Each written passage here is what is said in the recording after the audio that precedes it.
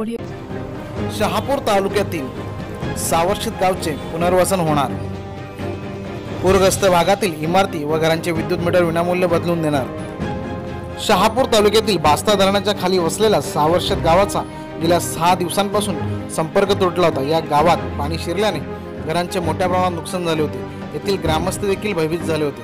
पालकमंत्र्यांच्या दौऱ्यानंतर या गावाचे लवकरच पुनर्वसन करून सर्व उपाययोजना करण्यासंबंधी सूचना पालकमंत्र्यांनी दिल्या.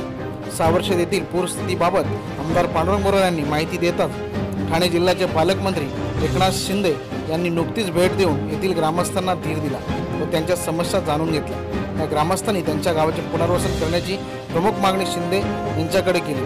याबाबत मुंबईत झालेल्या मंत्रिमंडळ बैठकीत पालकमंत्री एकनाथ शिंदे यांनी सावर्षित गावाच्या पुनर्वसनाचा प्रश्न उपस्थित केला.